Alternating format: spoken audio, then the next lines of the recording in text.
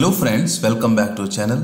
In this video, we are going to discuss about clock frequency division using decade counter. And for your information friends, the IC4017 which is manufactured by Texas Instruments is a dedicated ASIC chip which acts as a decade counter. And in this video, we are going to see how we can use this IC4017 as a clock frequency divider. So without wasting much time, let us get started.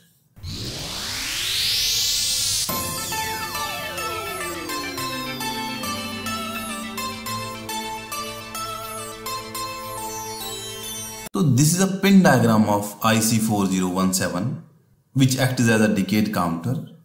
A decade counter is the one which has 10 stages. This IC has 10 output signals. Now the obvious question would be coming to your mind, why 10 output signals? Because it is not a binary decade counter. It is a one hot decade counter. In one hot decade counter, in the first clock cycle, output 0 will be high and all the other output signals will be 0. And in the second clock cycle, output 1 signal will go high and all the other signals will go 0. And the third clock cycle, output 2 signal will go high and all the other output signal will be 0 and so on. And in the 10th clock cycle, output 9 signal will go high and at that time all the other signal will be 0. And in the 11th clock cycle, again this output signal 0 will go high and at the same time all the other output signal will be 0. So this way this decade counter works. And it has one very important signal called the reset signal. So this is active high reset signal. When it goes high, it will reset the entire chip.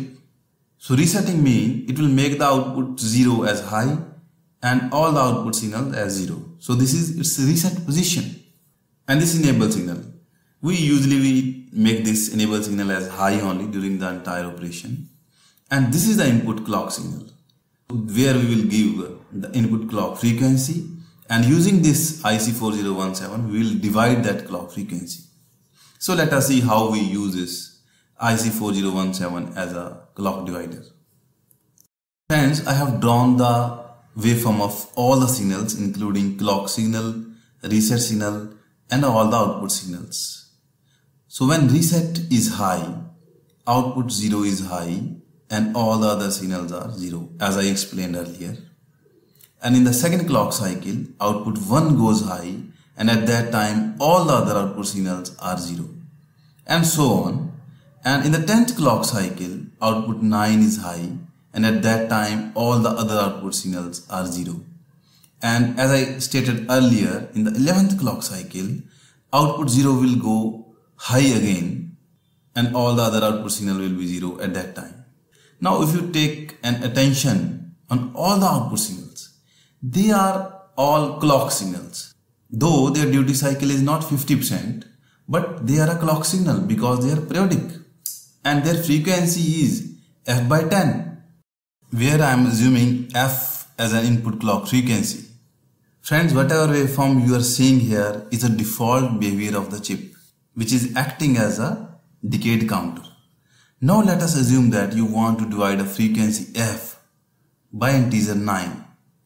Then in that case you have to play a trick. And you have to connect this output signal 9 to this reset signal. When we connect this output signal 9 to the reset signal, at this point of time this output signal 0 will go high and all the other signal will be 0. That means this pulse will be shifted one clock cycle to the left.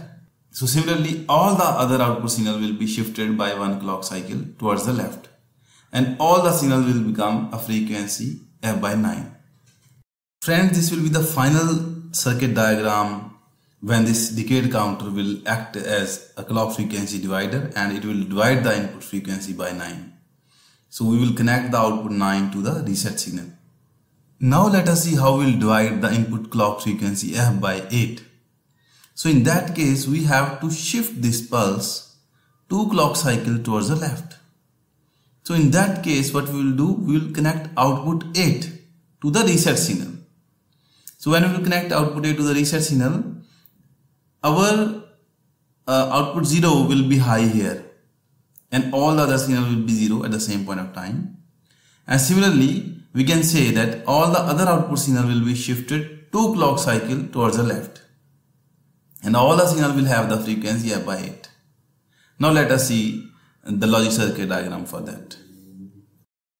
So friend, this will be the final logic circuit diagram when this IC4017 will divide our input frequency f by 8. Friends, I have created a table for you people. For example, if we already have seen, if we connect output 9 to the reset signal, then it gives us a frequency f by 9. Similarly, we also saw that if we connect output A to the reset signal, all the output signal will have the frequency f by 8. We can use anyone.